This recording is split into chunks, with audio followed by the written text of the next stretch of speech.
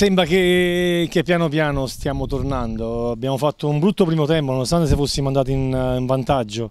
Come al solito ci sta succedendo in questo periodo, prendiamo dei gol da, io dicevo, da, da striscia allo striscione, da programma di Canale 5, perché veramente sembra una barzelletta. Però abbiamo avuto una grande reazione nel secondo tempo, secondo me siamo vivi, eh, qualcuno ci dava già per morto, invece no, siamo vivi, sono convinto che piano piano risaliremo la china.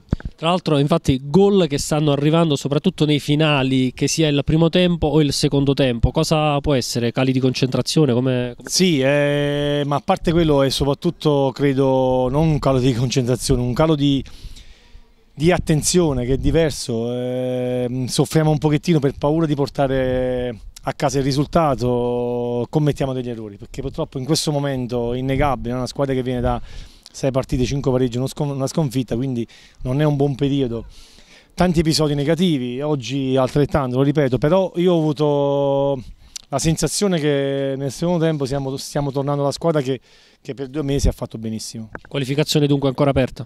Ma assolutissimamente, lo sapevamo a prescindere dal risultato di oggi che chi si sarebbe giocata comunque nei 180.